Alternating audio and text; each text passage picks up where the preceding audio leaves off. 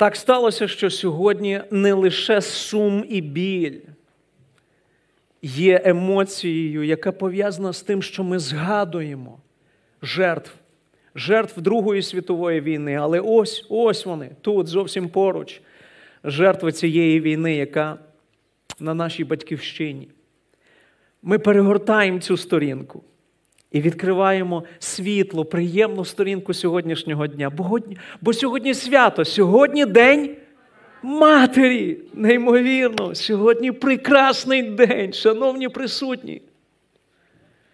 Ми відзначаємо особливих людей, незрівняних людей людей з надзвичайною життєвою місією, яку ми коротко, ніжно називаємо мама. І цим, і оце мама, воно майже в усіх мовах звучить якось дуже схоже.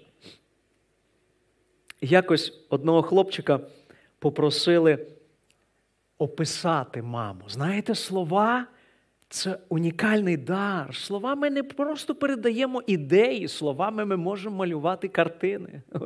Тому він взяв участь у цьому завданні і написав сочинение сына на тему «Мамина внешность». Моя мама стройная. Она имеет не очень длинные ноги, но в ступах у нее плоскостопия. Голова у нее немного больше, чем у меня, потому что она очень умная. На лице у нее серо-зеленые глаза, очень тонкие бровы и длинные ресницы, а на веках у нее голубые тени. Нос у нее нормальный, но с небольшим горбунком из-за того, что она упала в детстве на нос с велосипеда.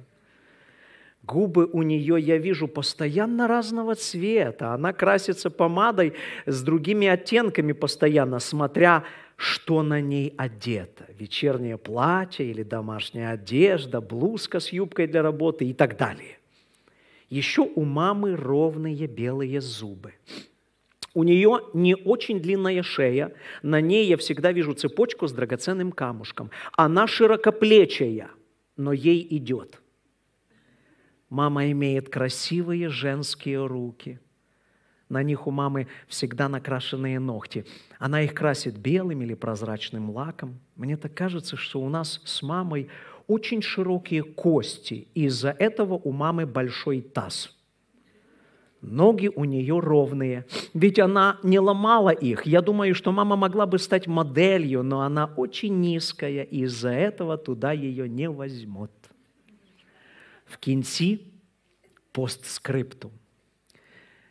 Папа плакал и очень просил его не описывать, когда прочитал сочинение. Ой-ой-ой. Я думаю, він плакав від радості, від сміху приємного. А що, якби дякую, моя хороша? А що, якби я попросив написати сочинення на тему? Який Бог? Опишіть його. Правда в тому, що з нас, з нас, земних людей, які ось живуть зараз, його не бачили. Але це не означає, що ми не можемо знати, яким він є. Автор листа до римлянам, згодом листа святого до євреїв писав, що споглядаючи Всесвіт, ми можемо розпізнавати природу Творця. Колись давно Ломоносов перефразував ці слова, сказавши, що Бог створив Всесвіт для того, щоб вказати на свою велич. Бог написав своє слово, щоб вказати нам свою волю. Так як художник бере фарби, пензлик і згодом на полотно перекладає свої почуття, свої мрії, те, що в нього всередині. І згодом, коли ви вивчаєте живопис роботи одного художника, у вас складається певне враження, ви можете скласти психологічний портрет, а часом навіть побачите автопортрет художника. Так само Бог в своєму творінні залишив чимало сигналів того, які вказують на його природу. І мама один із самих потужних сигналів.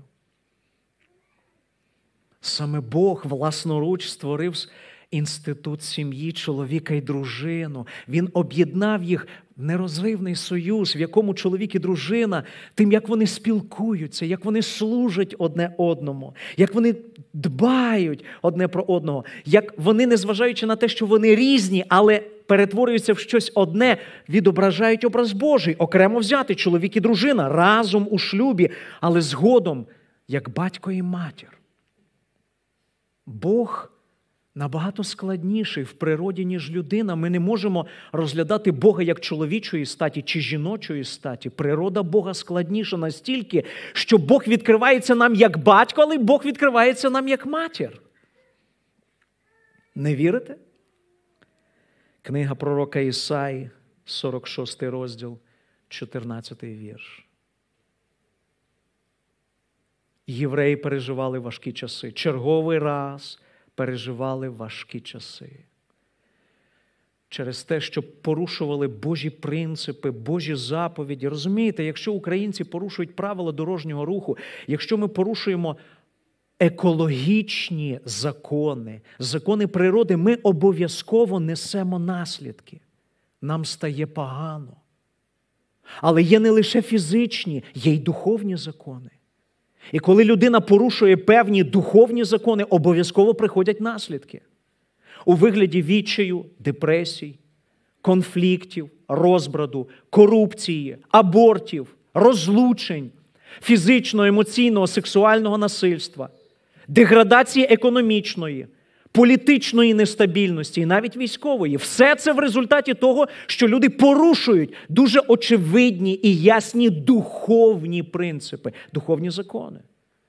І ось євреї довгий час порушували ці принципи, і наслідки прийшли страшні. І вони опинилися в такому стані, що будьте уважні. А Сіон це узагальнююче слово, яке описує євреїв, сказав: Мене Господь покинув, володар мій забув мене. Стан кинутості.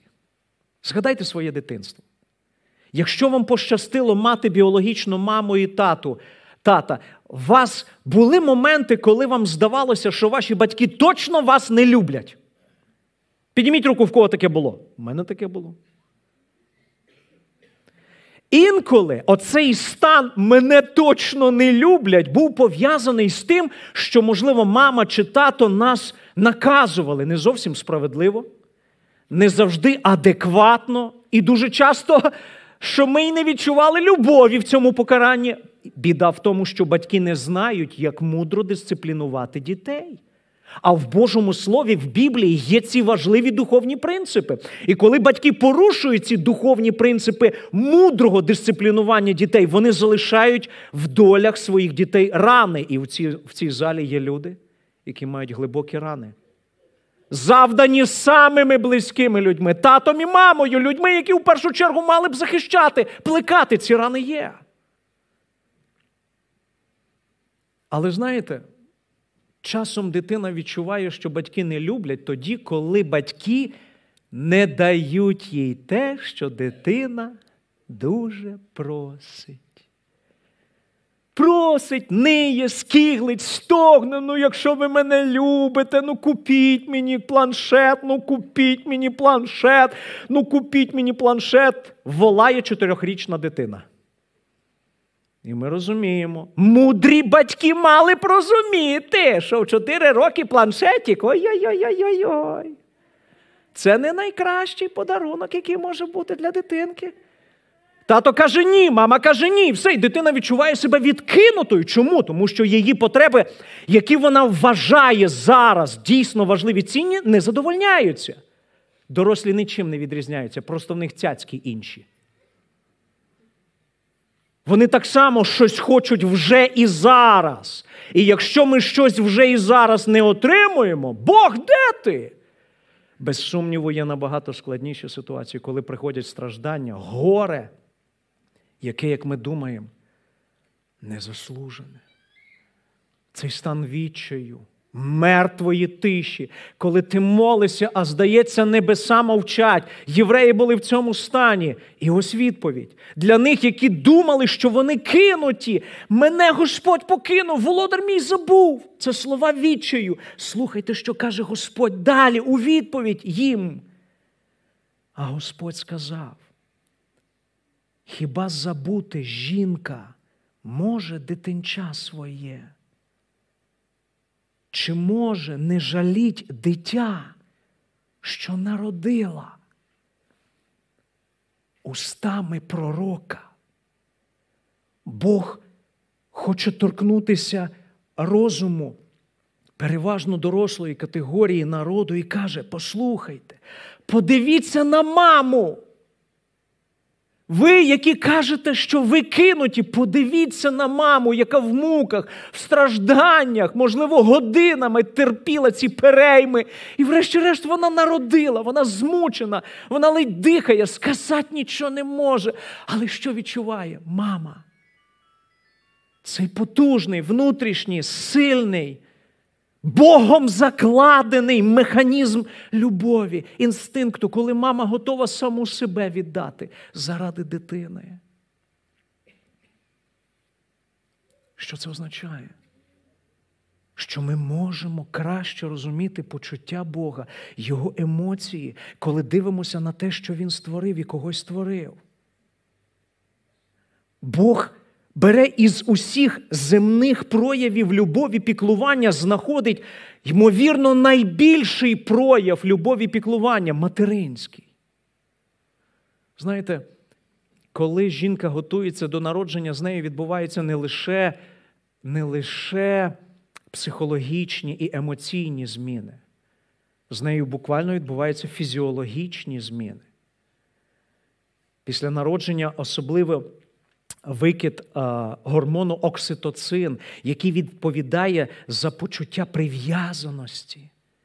Цей гормон називають ще а, гормоном дружби або відданості. Просто в жіночому, в материнському тілі Бог так зробив, щоб відбувався вулкан. Вулкан цей важливий гормональний. Він запускає важливі біохімічні процеси, і це торкається нас, вас, мами на емоційному рівні.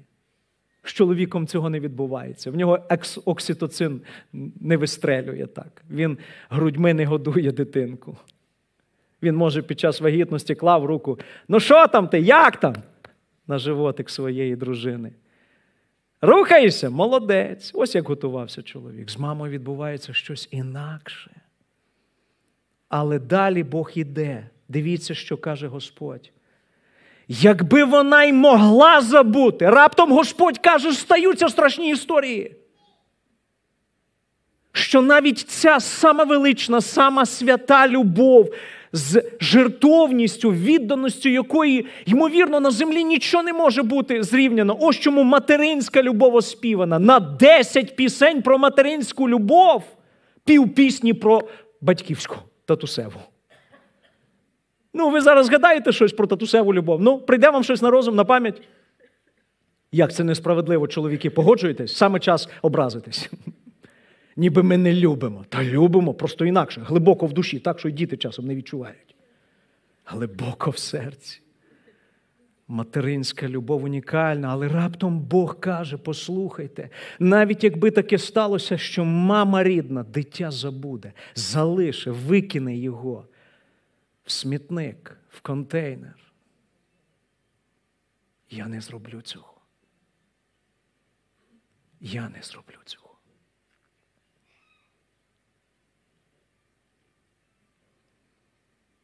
Бог не лишає в самі темні часи. Ми це знаємо. Може, для когось із вас зараз видаться не зовсім коректним. Пробачте, даруйте, простіть. Але я провожу аналогію нас, українців, з єврейським народом, з багатостраждальним єврейським народом. Я не ідеалізую єврейський народ, але давайте будемо чесні, на, на їхню долю випало багато страждань, але й на нашу. Вони невеликий народ, але й ми. Вони горнулися до Бога і поклали надію на милосердя. І була війна, яка, здавалося б, від єврея не залишить нічого. І до нас, до нас прийшли нас денацифікувати, бо натякають на те, що якщо ти говориш українською, якщо ти любиш Україну, ти ненормальний, ти не маєш права жити. І ми переживаємо щось, що на запах як геноцид, або натяк на це. Але євреї є попри те, що на шматку землі, де немає таких чорноземів, як ми живуть, де немає нафти, як ми маємо, і газу, як ми маємо, не мають і виживають. Хтось із вас був в Ізраїлі, руки вгору. Як там можна вижити? В тій колосальній пустелі їм вдається не лише виживати, їм вдається дивувати і сільським господарством, і високими технологіями. І вони живуть навколо народів, які думають тільки про одне: про що? Знищити їх, знищити їх, знищити їх. І цей маленький народ, ось що сказав колись Бог устами пророка Ісаї: Я не кину вас. Я не кину вас, навіть якщо ви будете думати, що ви кинуті мною, коли були в Освенцімі, коли були в інших таборах. Страшно. Сотні тисяч євреїв думали, все, Бог кинув їх назавжди. Господь не кинув. І це горе, це здавалося б, смерть євреїв перетворилася у Воскресіння нації в то, в те, що сталася держава Ізраїль і нещодавно святкувала незалежність. Українці, і наша доля складна. Давайте дивитися на них, давайте вчитися у народа, який горниться до Бога, у народа, який також невеликий але який живий може давати гідну відповідь усім ворогам.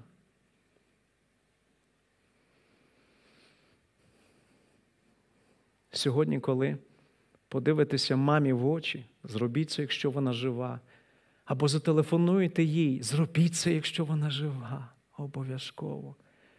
І навіть якщо вона вже увідійшла у вічність, підніміть світлину, фото, згадайте щось саме світле. Я хочу, щоб ви збагнули. Мама, мама це певне відзеркалення, відображення надзвичайної любові Бога.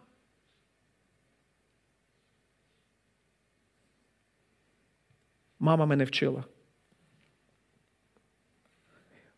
Самий перший, самий важливий урок, який. Бог через маму давав мені. Мені здається, я пам'ятаю ці фрази, ну вони вбилися в мій розум.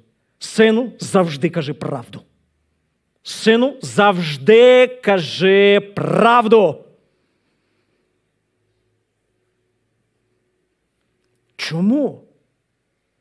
Це був Божий голос через маму. Чуєте? Це Бог через мою маму казав. Завжди кажи правду. Згідно дослідження компанії Beverage Brands, середньостатистична людина бреше мінімум 4 рази в день. Вітаю вас, українці! Чотири рази в день середньостатистичні. Ну, це в Англії, українці не так, ми кращі.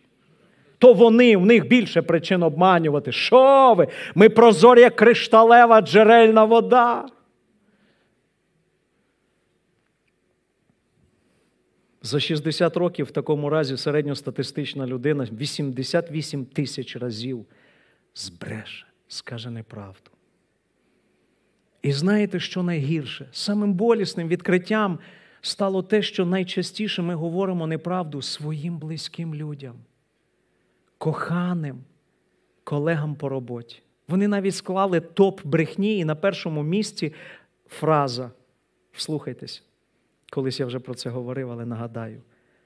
Все в порядку, у мене все нормально. У вас таке було? З вами зустрічається хтось і ставить питання вам, як справи?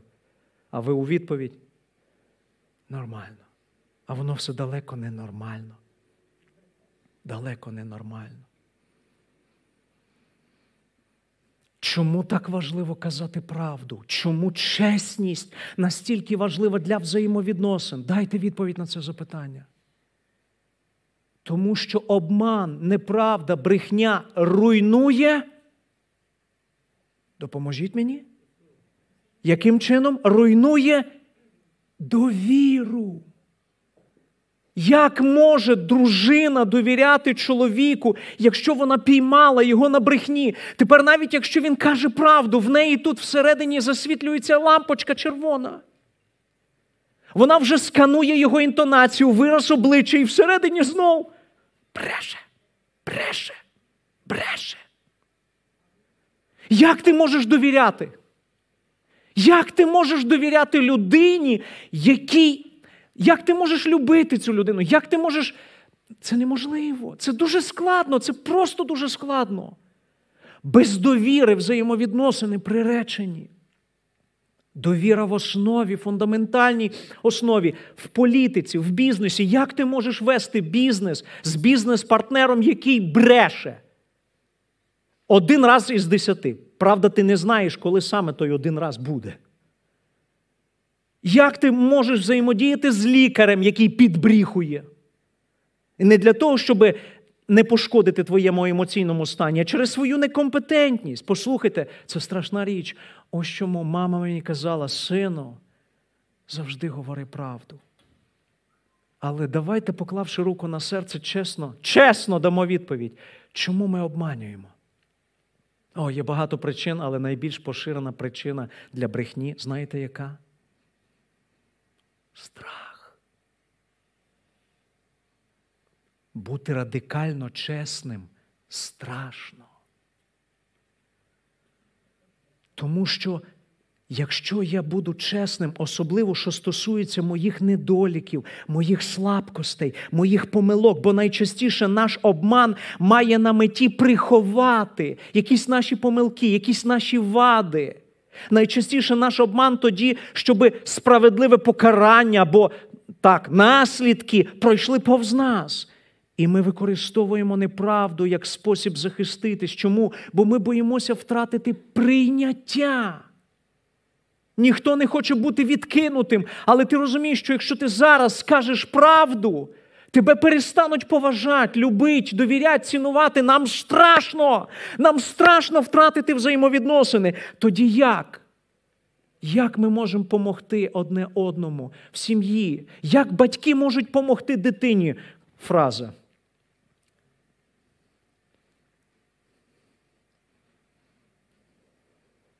Це правда, що ти вирвав сторінку із щоденника? Тільки правду кажи.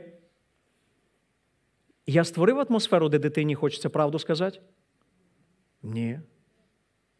Що дитина чує в моїх словах? Загрозу. Що якщо скаже правду і дійсно визнає факт вирваного, що буде далі? Ага. Ми думаємо, ми часом перетворюємося, знаєте, на цих, як вони називаються, що влаштовують е, дізнання. Праску в одну руку, ще щось в іншу руку. А ну правду кажи.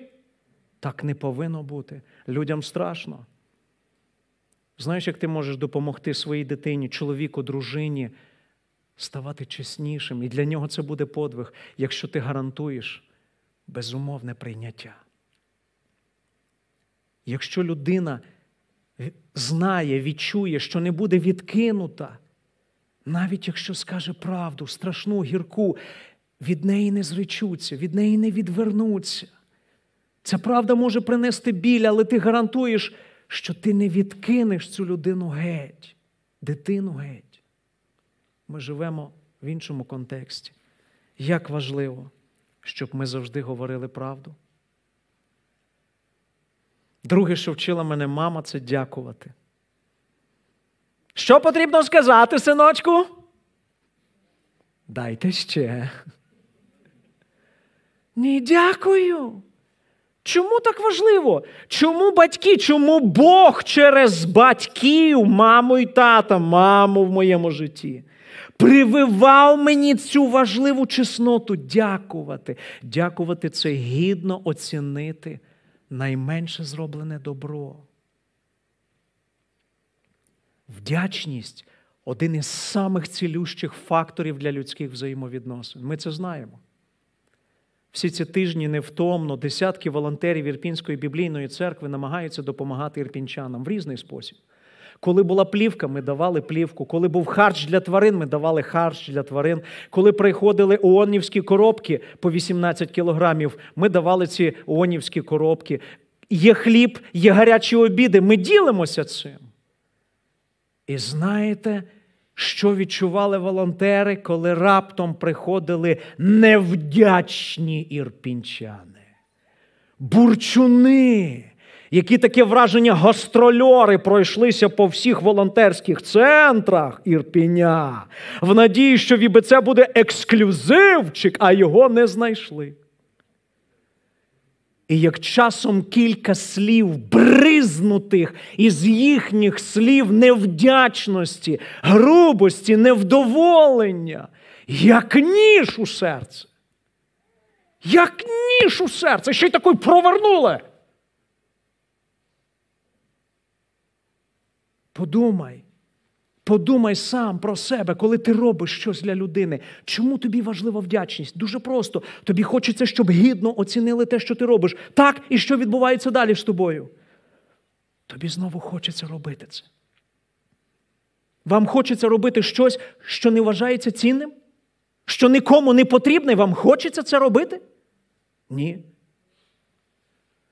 Волонтери в нас, слава Богу, роблять все безкоштовно, тому що вони знають, Господь це гідно оцінює. Господь це гідно оцінює. Вдячність. Дякуємо одне одному. Сьогодні ви подякували комусь. Ану, згадайте, так, сьогодні була в мене можливість подякувати. Можливість була. Подякував? Ні. Є можливість зігріти серце рідної людини вдячністю. Чоловіки і дружини, тати, мами, діти.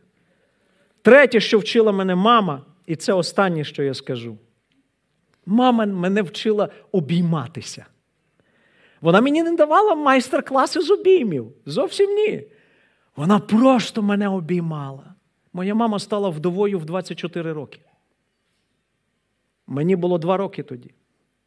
Знаєте, що я пам'ятаю з дитинства неділю? Мої батьки не ходили, мама до церкви не ходила.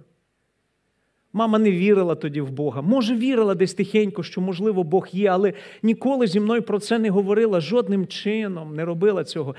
Але я пам'ятаю неділя, коли мама дозволяла ночувати з суботи на неділю спати з нею на тахті. Тахта, знаєте таке?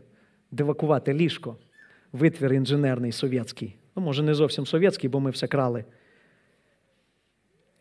І ось ми просиналися зранку на цій тахті, і мама починала зі мною боротися. Ми билися подушками, боролися. Народ, я це пам'ятаю з дитинства. У мене так небагато спогадів з дитинства. Я пам'ятаю, як я з мамою боровся, як вона мене обіймала. Я чекав наступної неділі, як хтось до церкви йшов. Я так хотів впасти в мамині обійми і боротися з нею понарошку. Обійми. Алочка знає тепер, чому я люблю обійматися. Да. Для моєї дружини обійми не були мовою любові першочерговою колись, коли ми одружилися. А я постійно ліз обійматися. Коли накосячив, коли наплював душу, коли просив прощення і коли був винний, коли прощав, я ліз обійматися. Обійми. Серед американців проводилося дослідження і сказали, що якщо подружжя часто обіймаються, батьки подружжя і торкаються одне одного, їхній шлюб міцніший, ніж в сім'ях, де фізичний контакт зведений до мінімуму. Ви чуєте, обіймайтеся, дорогі мої. Обіймаючи когось, ми відчуваємо себе краще. Коли ми обіймаємо іншу людину, відділяється ось той гормон, да? гормон обіймів, завдяки якому ми відчуваємо тепло і ніжність. Обійми знижують тиск, міцні обійми проганяють наші страхи. Обійми один із самих сильних невербальних сигналів. Обіймами можна сказати, я скучив. Обіймами можна сказати, я чекала. Обіймами можна сказати, я радий, мені боляче. Пробач, пробачаю. Обіймами так багато можна сказати. Отож Бог через маму вчив мене бути чесним, бути вдячним і обійматися. Бог любить, коли ми обіймаємося. Він радіє. Можна, я скажу єдине, чого мене мама не навчила. І це саме важливе. Вона не навчила, тому що сама не була навчена. Вона не навчила, тому що жила в атеїстичні часи. Моя бабуся, мама моєї мами, була сільською вчителькою. Дідусь мій. Тато моєї мами, директор сільської школи. То були часи, коли вони були змушені своїм учням казати, Бога немає. Не дивно, що моя мама не навчила мене самому важливому взаємодіяти з Творцем. В 7-8 років, коли я попадав на похорони, я бачив, що помирають люди, і в моєму дитячому серці розумі виникали питання: невже смерть це кінець? Невже люди, як тварини, просто померли, закопали і все? Тоді в чому смисл? Згодом 12, 13 років, 14 років, коли моє серце було розбите відсутністю взаємної любові, і я хотів зрозуміти і знайти взаємну любов. Згодом я хотів знайти смисл життя. Я не знав, що шукаючи, і відповідь на питання сенсу і справжньої любові, подружнього життя потрібно взаємодіяти з Богом. Мама мене цьому не навчила. Життя моєї мами було розбите спочатку втратою її чоловіка, мого батька Станіслава. Її другий шлюб з моїм відчимом Феліксом Антоновичем є дуже болісним, є дуже складним. Мій відчим алкоголік. Я пам'ятаю самий ймовірно складний період. А я увірував, я став християнином, коли мені було 18. Мамі було соромно за те, що її син став віруючим. У нас там в Острозі, на Рівненщині, в штумди пішов. Маму знали багато хто в місті, інтелігенція, і признатися їй, що її єдиний син подався до тих забитих, затурканих штундів. Так було соромно і боляче. Але згодом хтось із інтелігентних її керівників сказав: Нель Васильівна, я бачив цих віруючих, слухай, нормальні люди. Ці, Ця фраза нормальні люди стала для мами цілющою. Вона дала мені спокій. Згодом мама бачила, як я закохався в Алочку, ми одружилися. Вона вперше була на весіллі у віруючих людей. Ви не уявляєте народ. 250 людей ми зібрали. Кабанчика, телятко. Без горілки було весілля. Ви не уявляєте, що це було мені їздити по селах Хмельниччини, звідки моя родина, запрошувати. Мама просили, тато просив, я прошу а потім такий маленький коментар з зірочкою такою, знаєте, але в нас алкоголю не буде. Бачили б ви очі тих чоловіків особливо, що там робити на тому весіллі? Без горілки? Що за свято?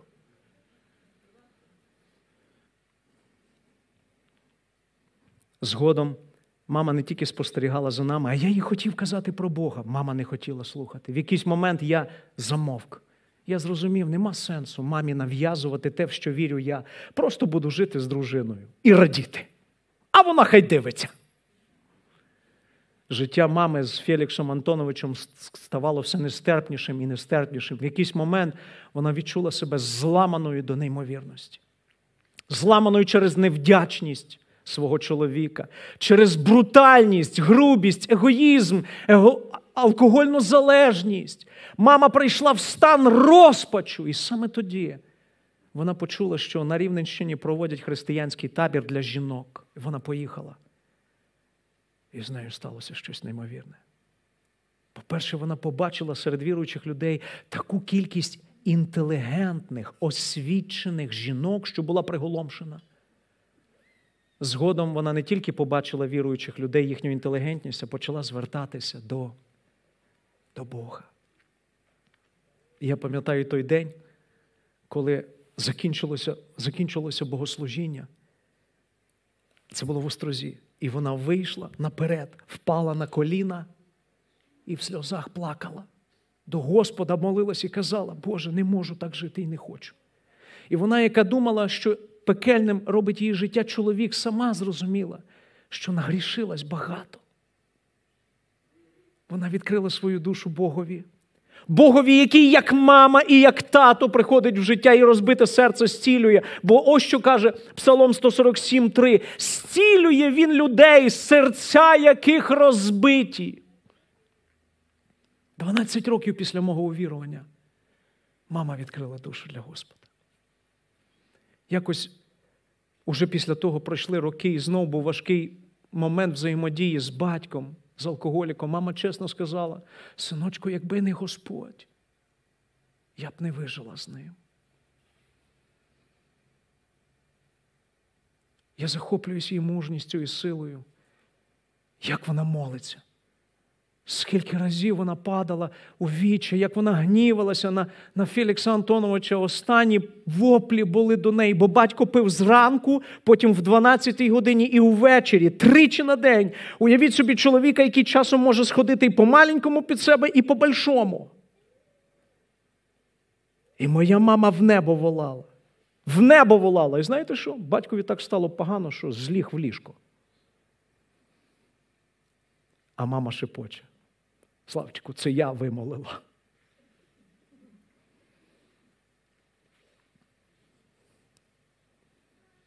Ця жінка готова ходити біля чоловіка, який лежить, годувати його, підмивати його,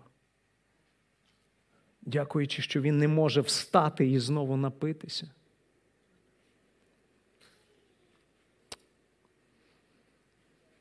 Моя мама Неля знає Господа. Чи знаєте Господа ви особисто?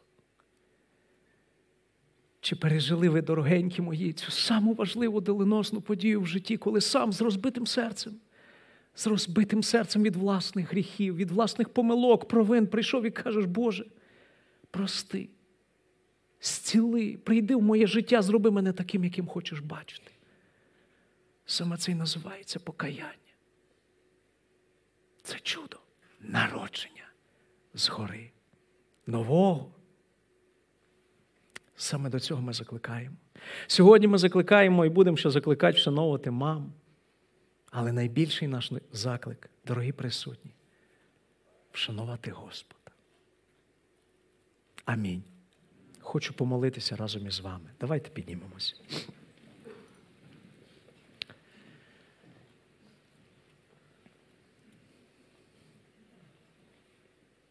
Господь.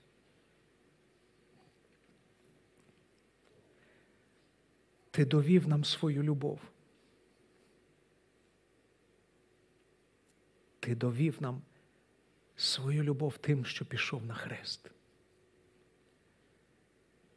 Ти пережив такі муки, таке приниження, такі тортури, будучи чистим, святим, непорочним. Бо тільки в такий спосіб можна було розрахуватися за наші гріхи перед правосуддям. Ти пережив самотність страшну і агонію ради кожного із нас. Господи, дякуємо, що Твоя любов навіть більша за материнську і батьківську. Господи, дякуємо, що якщо можуть кинути друзі, чоловік, дружина, діти чи батьки ти не кидаєш. Дякуємо. Не кинь Україну і зараз. Як тактусь, як мама, візьми нашу країну, наш народ і проведи в цих полях і стражданнях. А нам, Господи, дай вчитися бути чесними. А нам, Господи, дай вчитися бути вдячними одне одному за найменше і дарувати любов, підтримку, турботу, щире розкаяння через обійми. Благослови нас у цьому. Отець, Син і Святий Дух. Амінь.